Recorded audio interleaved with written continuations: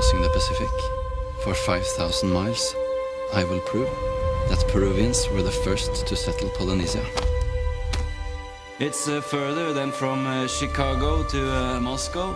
Look around you. Every book in here offers some theory or another.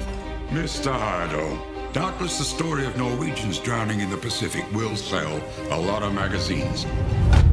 But not this one. You want your theory to be accepted? Then go ahead. Drift from Peru to Polynesia on a balsa wood raft. Det er ingen som kan redde oss der ute. Bortsett fra den teorien din.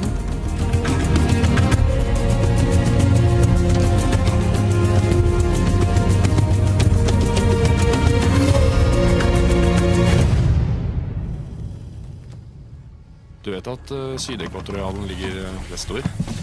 Siden vi knapt klarer å styre og er på helt feil kurs, tenkte jeg.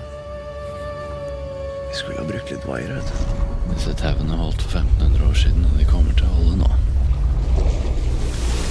Vær så snill. Jeg bønnfaller deg. Jeg ser været til den her.